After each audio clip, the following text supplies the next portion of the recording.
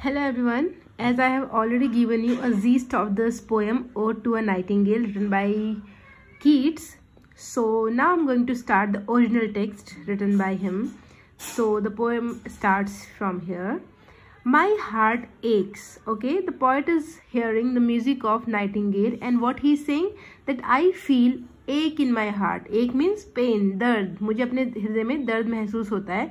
And a drowsy numbness pains है ना? और मुझे एक ड्राउजी मतलब नींद जैसा स्लीपी नम्बनेस मतलब सुन्न हो जाना, ऐसा दर्द. मुझे एक ऐसा दर्द फील होता है जो कि मुझे ऐसा लग रहा है कि मैं बहुत ही सुन्न होता जा रहा हूँ और बहुत स्लीपी महसूस कर रहा हूँ. माई सेंस एज जो of hemlock I had drunk है ना? माई सेंस मतलब मेरी इंद्रियाँ. तरह से रिएक्ट कर रही है, जैसे कि हेमलॉक हेमलॉक एक पॉइजनस प्लांट होता है। उसको मैंने पी लिया हो। हेमलॉक को मैंने पी लिया हो।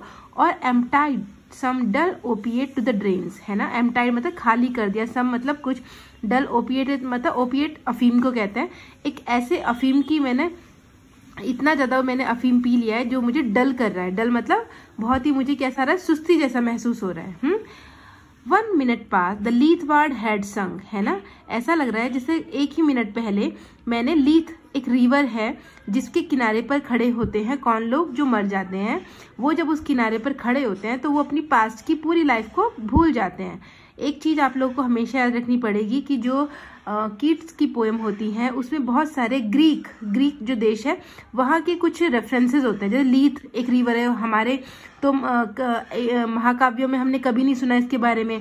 लीथ एक रिवर है ग्रीक माइथोलॉजी में ग्रीक महाकाव्यों में, जिसके किनारे पर आत्माएँ जब खड़ी होती हैं तो वो अपने पास्ट में सब कुछ भूल जाती हैं। तो हमारा जो राइटर है कीट्स उसको भी कुछ ऐसा ही लग रहा है कि जैसे मैं अपने पास्ट का सब कुछ भूल चुका हूँ, मैं लीथ नदी के किनारे पर खड़ा हुआ हूँ।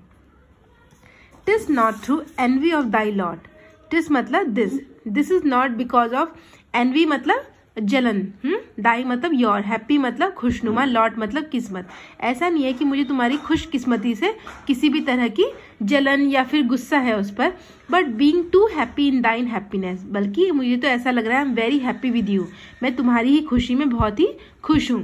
That thou light wing Dryad of the trees in some melodious plot of beech and green and shadows numberless singest of summer in full throated ease but being too happy in thy happiness मैं तो तुम्हारी खुशी में बहुत खुश हूँ।